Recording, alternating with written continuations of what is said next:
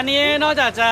ทำรถยนต์นะครับ ก็ยังมีรถมอเตอร์ไซค์ด้วยนะครับ คันนี้เป็น KTM นะครับ สูตรเดียวนะ แล้วก็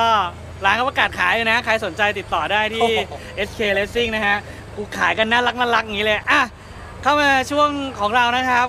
Positive Thinking by Sing Corporation นะครับ ไม่ว่าจะเป็นรถมอเตอร์ไซค์นะครับหรือรถยนต์นะครับ เวลาอยู่บนท้องถนนเนะครับ ก็ต้องเอื้อเฟื้อเผื่อแผ่กัน ปัจจุบันผมเองผมก็เริ่มใช้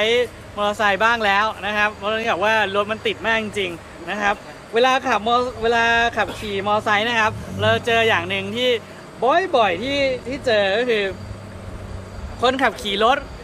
รถยนต์ก็ไม่ได้ห่วงรถมอเตอร์ไซค์นึกออกไหมเวลาคุณเห็นมอเตอร์ไซค์คนขับขี่รถยนต์คุณจะเห็นมอเตอร์ไซค์เป็นเหมือนแมลงสาบหรือเป็นแมลงวันขับผ่านข้างๆ จริง ๆ แล้วคือเอื้อเฟื้อกันไปครับ เพราะว่าบางทีเนี่ยมันมีช่องแคบๆบางทีคุณไปไม่ได้มอเตอร์ไซค์เข้าไปได้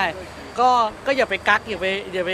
แทงรถเข้ามาให้มันไปไม่ได้ซะดื้อๆอย่างนั้นนะนะครับบางทีมองกระจกข้างบ้าง มองซ้ายมองขวามองกระจกหลังบ้างนะครับ แล้วก็เอื้อเฟื้อเขาไปนะครับ ไม่ใช่อย่างหนึ่งที่เราเคยเจอบนท้องถนน เยอะที่สุดคือ วิธีการขับที่เฮ้ยกูไปไม่ได้คนอื่นก็ไปไม่ได้เว้ยอันนั้นแบบผมว่าเลิกก็ทีเถอะนะแล้วก็เอื้อเฟื้อเผื่อแผ่กันในในในสังคมนะครับ บางครั้งบางทีเนี่ย เราเห็นมอเตอร์ไซค์ทุกวันนี้มันเยอะขึ้นนะครับ มีการขับขี่เยอะขึ้น ตัวของมอเตอร์ไซค์เองเขาก็ระวังตัวเองนะ เพราะว่าถ้าเราจะพูดกันไปคือมันก็มันก็เนื้อหุ้มเหล็กอะนะเราเองก็ระมัดระวังการขับขี่ประมาณหนึ่งครับ ในขณะเดียวกันครับถ้าคนที่ขับขี่รถยนต์นะครับ คุณเองก็ต้องระมัดระวังเขาด้วย เพราะว่าบางครั้งเนี่ย หลายเหตุการณ์หลายข่าวที่เกิดขึ้นครับ มันเกิดจากความเข้าใจที่คลาดเคลื่อนกัน หรือเกิดจากสิ่งที่คุณเองก็ไม่อยากให้มันเกิดขึ้น ไม่มีใครอยากให้เกิดขึ้นหรอกครับอุบัติเหตุบนท้องถนน เพราะว่าทุกครั้งที่เกิดอุบัติเหตุมันหมายถึงความสูญเสียครับ อาจจะบาดเจ็บสูญเสียทรัพย์สิน หรืออาจเสียชีวิตได้นะครับ เพราะฉะนั้นสิ่งที่ควรจะมีมากที่สุดคือ ความเอื้อเฟื้อเผื่อแผ่กันในสังคมนะครับบนท้องถนนนะครับ มันจะทำให้การขับขี่น่าขับขี่มากขึ้น การใช้ถนนมันมันสนุกสนานตามแบบที่คุณชื่นชอบ บางทีรถติดครับเดี๋ยวเครียดพอยิ่งเครียดคุณก็ยิ่งหงุดหงิดกับทุกๆเรื่องหงุดหงิดกับรถที่ขับผ่านไปผ่านมาหงุดหงิดกับทุกๆคนทุกๆอย่าง สุดท้ายตัวคุณเองนะครับ มันจะนั่งหงุดหงิดอยู่ในรถหงิกอยู่ในรถ คนขับมอเตอร์ไซค์เขาก็หงุดหงิดเหมือนกันนะ เวลาเจอคนขับรถงงงชีวิตเนี่ย เอาว่าคิดดีครับ คิดกันดีๆ มองในมุมมองดีๆครับ สังคมก็จะน่าอยู่มากขึ้นเรื่อยๆนะครับ ขอบคุณสิงห์คอร์ปอเรชันมากนะครับ ที่สนับสนุนวิธีคิดในช่วงเวลาดีแบบนี้นะครับพบกันใหม่ได้สัปดาห์หน้าในสกู๊ปของ Positive Thinking by สิงห์ Corporation นะครับ สัปดาห์นี้ บ๊ายบาย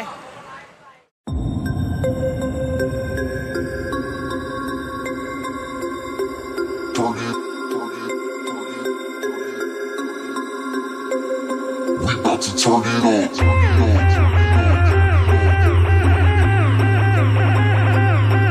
Target, target, We about to turn it on. Turn it on. Turn it on. Turn it on. อากลับมาคุยกับเฟิร์สต่อนะครับครับผม เฟิร์สครับแต่งรถมานานนะครับ ก็นานแล้วครับ กี่ปีละประมาณถ้าฝัดฝัดมาจริง ๆ ประมาณ ปีกว่าๆสองปี เอาแนวที่ชื่นชอบตั้งแต่ทำรถมาชื่นชอบเรื่องรถชื่นชอบมานานหรือยัง นานแล้วครับ อืม ก็ตั้งแต่วัยรุ่นนะเนาะแล้วสมัยเราอะเนาะก็ต้องไปมาเรื่อยๆ จักรยานมาโมอไซค์รถยนต์เอ้ยมาเรื่อยๆเอาหมดเลยเหรอ ใช่ครับอะไรที่ามีหดล้อเลยเอาหมด มาหมดเลยตั้งแต่จักรยานเลยฮะแล้วปลูกเออฝังมั้งแต่เด็กเลยครับ ทำเองซ่อมเองมั้งแต่จักรยานทำสีมามอเตอร์ไซค์พี่ชายเนี่ยครับ เขาไล่ไปเรื่อยๆไล่ไปไล่ไปรถยนต์เราก็ตามรถยนต์อะไรอย่างเงี้ยก็หมายความว่าอย่างเฟิร์สเองมีแรงบันดาลใจจากครอบครัวด้วย ครอบครัวด้วย จากสิ่งที่เราทำด้วย ใช่ครับผมวันหนึ่งก็เลยทำสิ่งที่ชอบให้เป็นอาชีพ ใช่ครับถูกต้องเลยครับ ทุกวันนี้เห็นบอกว่าเมื่อคืออ่าเบรกที่แล้วเราคุยกันว่าเป็นช่างอยู่ด้วย ใช่ครับ ทุกวันนี้มีความสุขไหมครับกับการทำงานมีความสุขมากครับ ทำไมครับ เพราะว่ารู้สึกว่าได้ทำรถแล้วมัน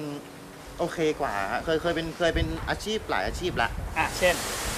ก่อนอาชีพแรกเลยคือเป็นช่างอยู่ที่เบนซ์ราชครูครับตรงซอยอารีคอรัยู่บอยู่สี่ปี ครับแต่ก็ออกมาเพราะว่าเดินทางไกลอะไรประมาณนี้ ครับ ก็หลังมาเป็นช่างภาพถ่ายรูป ครับก็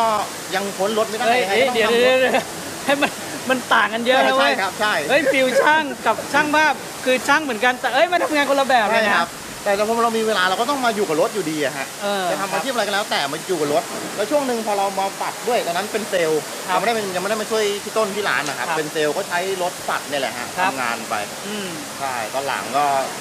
กฎหมายแรง ครับ กฎหมายแรงด่านเยอะมากครัก็บต้องยอมครับต้องยอมด่านก็เลยเดินเล่นหลบๆเขาหน่อย ใช่ต้องเด็กเลี่ยงหน่อยอ๋อ เพราะว่าเรารักทางนี้แล้วเราหยุดไม่ได้ยังไง เราก็ต้องแบบนี้ฮะนั่นหมายความว่า เวลาพอเราทำอะไร แล้วเราอยู่กับสิ่งที่เรารัก ครับมันมีความสุขมากกมีว่าความสุขมากกว่าฮะเลือกที่อยู่กับมันดีกว่าฮะเราเลือกมาหลาย ๆ อย่างแล้วเลือกมาหลายอย่างแล้ววันหนึ่งเราเลือกที่จะมาอยู่กับสิ่งที่เราชื่นชอบ ใช่ครับเราได้อะไรกับมันบ้างนอกจากความสุขที่เราได้พบเจอมันทุกวันโอ้เยอะแยะเลยครับทั้งสังคมด้วย ครับ ทั้งทีมโรเลสแบบเนี้ยครับ ทุกคนโอ้โหแบบว่า คือผมเหมือนครอบครัวจริงๆอะครับ ถ้าได้สัมผัสแบบครับโอ้โหพี่น่าจะเข้าใจเนาะอ่าแน่เนาะ เวลาเวลาคนที่เขาชื่นชอบอะไรแบบเดียวกันครับเรื่องราวเดียวกันมาอยู่เขาจะมีด้วยกัน เรื่องคุยได้ไม่รู้จบใช่ครับ นะครับ ประมาณนั้น อย่างสมมติมีน้องๆคนหนึ่งครับ สมมุติว่ามีเด็กรุ่นใหม่ ที่เขาดูเราเขาเห็นเราตามท้องถนนเขาอยากแต่งรถบ้าง เขาอยากเข้าสังคมแบบสังคมชาวรถบ้าง มีอะไรอยากจะบอกเขาไหมก็ อย่าเพิ่งแบบว่าลองมาคุยกับคนที่รู้ พวกที่รู้หาเพื่อนแต่งหาอะไรอย่างเงี้ยหาสังคมดูก่อนครับ บางคนอยากแต่งรถแต่ไม่รู้อะไรไปเข้าร้านนั้น ร้านนี้ทำนู่นทำนี่แบบดูในเน็ตมา อยากได้ท่อสูตรนั้นไปทำท่อแบบนี้มารถไม่วิ่งอะไรประมาณเนี้ยออกทะเลไปเลย เออ ประมาณนั้นก็ต้องหาความรู้นิดนึงมันกลายเป็นว่า เดี๋ยวมันจะกลายเป็นเสียตังค์หลายรอบ ใช่ไปตั้งหลายรอบ มันจะกลายเป็นเสียน้อยเสียยากเสียมากเสียง่าย ใช่ครับ เพราะว่าเดี๋ยวนี้รถซิ่งเยอะด้วย อะ มั่นใจว่ารถซิ่งเยอะมาก ปริมาณปริมาณผมบอกอย่างนี้เลยว่า ตั้งแต่ทำรายการคันสุดขั้วมาครับ ที่เกี่ยวกับม e ติ้งรถนะครับ ผมผมเอาโหวนประกายเลยครับว่ารถซิ่งมีปริมาณเยอะขึ้นเรื่อยๆทุกปีใช่ทุกครับปี ใช่เพราะว่าคนส่วนใหญ่มักจะชอบหาแนวทางที่เป็นของตัวเองถูกต้องนะ นะครับ เพราะการแต่งรถมันบ่งบอกความเป็นตัวเราใช่ไหมครับ ใช่ครับผมอย่างรถคันนี้บ่งบอกความเป็นตัวเฟิร์สไงบ้าง ความเป็นตัวผมอะฮะ ข้างในอะอยู่ชอบอยู่คนเดียว อืม แบบว่าแต่เพื่อนฝูงอะไรเงี้ยเอาแต่ว่าไม่มีแฟนไงโสดก็เบาะตัวเดียวอะแบบอย่างเงี้ยไม่ให้อะอะไม่ให้ใครนั่งอ๋อขับคนเดียวไปไหนมาไหนไม่ไม่ต้องมานั่งห้ามอ่า เบาะตัวเดียวเอ้าแล้วถ้าเกิดไปรับหญิงเพิ่ม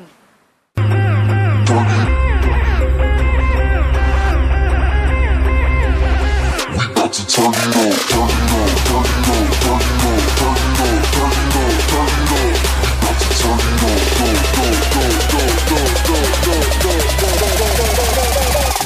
Turn it on.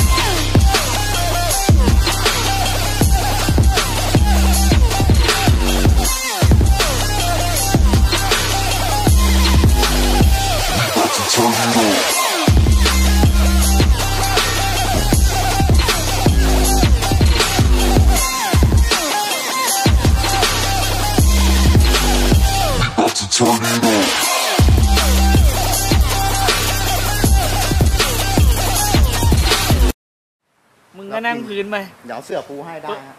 ปูกระดาษลงกระดาษลังตามร้านอะมีเยอะแยะ กระดาษลังดูดี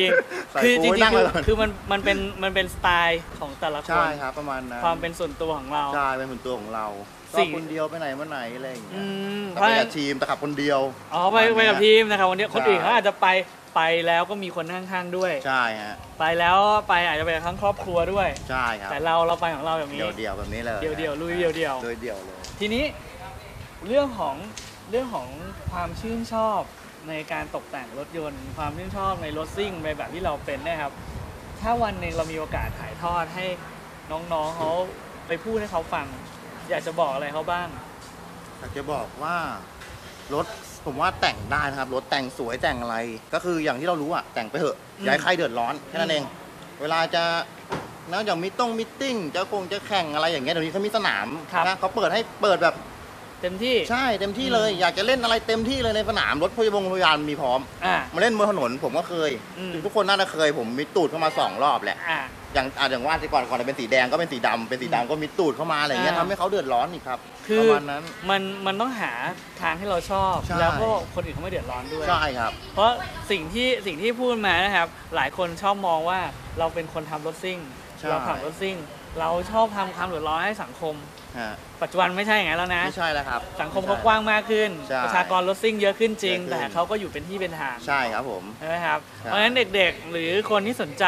นะครับ อยากทำรถตัวเอง หรืออยากหาแนวทางของตัวเอง ศึกษาอย่างแรกคือศึกษาก่อนศึกษาก่อน สองมาอยู่ในกลุ่มในสังคมที่ที่เขาเป็นใช่นะครับ ครับ แล้วคุณก็จะอยู่แบบถูกที่ถูกทางเพราะผมเชื่อว่าสังคมคนคนแต่งรถคนทำรถซิ่งนะครับ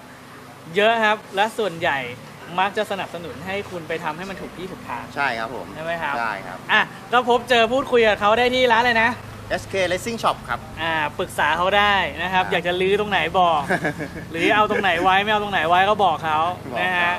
อยากปรึกษาก็ได้ครับไม่จำเป็นต้องเข้ามาทำรถฮะมาพูดคุยปรึกษากันได้นั่บางงเล่นบางงบางคนอะไรได้แบบเวลาพอเจอร้านอย่างนี้ปุ๊บไม่กล้าไม่กล้าเข้ามา เข้ามาคุณต้องเสียตังค์แน่เลย ใช่ต้องมีประคมาณนนั้นยัดของขายแน่เลยใช่ผฮะมจะบอกว่าเวลาคุณเจอร้านแบบเนี้ยอย่างแรกที่คุณควรทำคือนั่งคุยกับเขาสักพักหนึงก่อน ครับ เพราะหลาย ๆ ร้าน โดยเฉพาะร้านที่เราเลือกมาออกในรายการนะครับ จะเป็นร้านที่เราเคยพูดคุยกันแล้วประมาณหนึ่ง ครับ แล้วเราก็เชื่อได้ว่าไม่ไปถึงปุ๊บน้องอันนี้ดีนะเพราะว่าหลาย ๆ คนเวลาใช่แต่งรถฮะแม่งโดน โดนชัวร์ใช่ นะเพราะฉะนั้นคือเวลาเข้ามาคุยคุยก่อนครับ ถูกใจซื้อไม่ถูกใจใช่ครับก็ประมาณนั้ก็นก็ไม่ต้องซื้อก็แค่นั้นเองนะครับอะเดี๋ยวเราช่วงหน้าเราไปดูในร้านเขาต่อ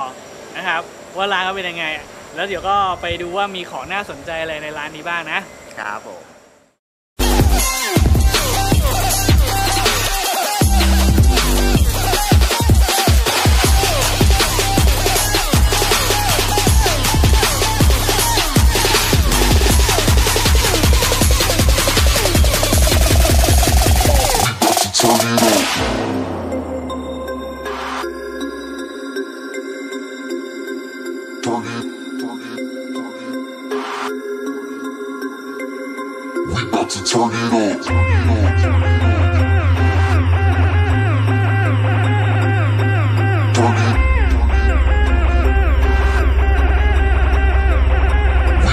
turn it on.